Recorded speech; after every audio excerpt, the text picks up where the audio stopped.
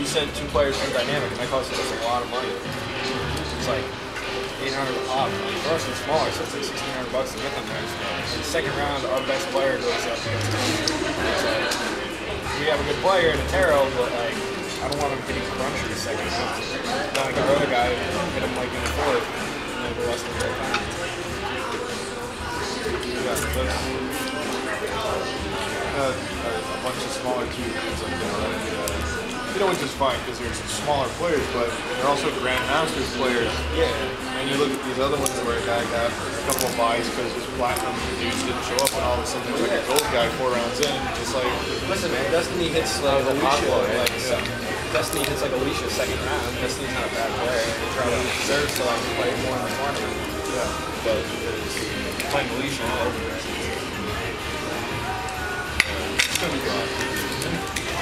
Like my friend on uh, the last one, he had uh, Optic Zero in the second round, and then Optic Zero in July's our third round. I was just like, uh, I feel bad for all the guys that there's an agent. yeah, oh, it's just rough. Guy didn't break his threat. Oh, it's, yeah, it's so good. NASL, though. Yeah. That first day, it was just kind of like, it was rough. I, First I, day it took forever. That was wait till I talked to all You were there the whole time, right? I was well, I was there press box for a while. Yeah, oh, that's what I meant, Because. I was doing uh, all pretty much all the was rough. I talked to Russ people. The first day he almost had a heart attack. Trying to get Yeah, man, it's a projector and like They were they were up till past midnight. Yeah. Like there trying to fix everything. Yeah, I was, like I said, I was mad till I talked to the guy. And I was like, oh, well. To be fair, he was expected. Yeah, look, I always sort of look at it like MLG's been MLG for a long time.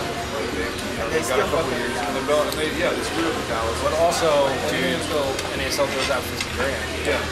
Well, NASL went from zero to 85,000 people in a month and a half.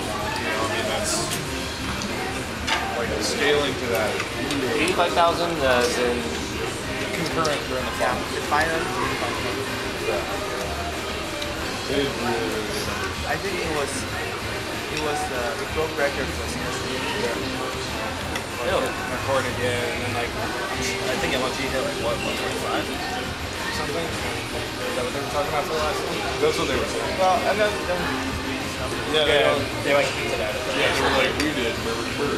They, they release partial- that was really good, dude. they release it, but like That's they what, they, that's what it sounds like. No, they always say they're They're like, like, we did this. Like Twitter posts. They painted at 22.5 million views. That was just- Yeah, 22.5 million views. You're like, well, what does that mean?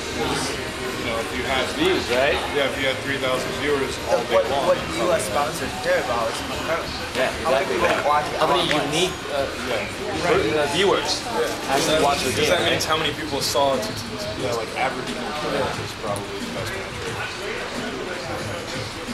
I mean, skipping the first hour, first hour is always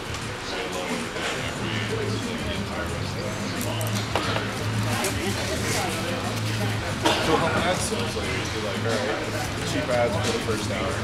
I mean, I interviewed iBUYPOWER, the, the main sponsor for the, uh, the finals, and they love it. They, they, they're like, they saw immediately European sales. They saw even like a, a giant leap in traffic.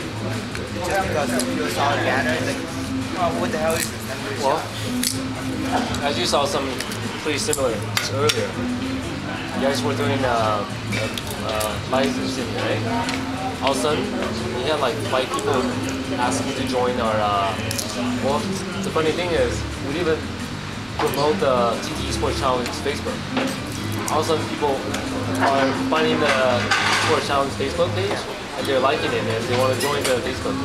We weren't even doing anything to it. That was a blank page that we were thinking about promoting earlier, but we decided not to because we want to focus on the platform rather than having people go to different Oh, yes, channels. absolutely. Like that's one thing StarCraft fans uh, like compared to our our games, like their fans be like, why are you why are we being advertised? You know, ads everywhere. I don't want that.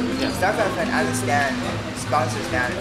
Star- Sponsors critical to, to, to the growth of the industry.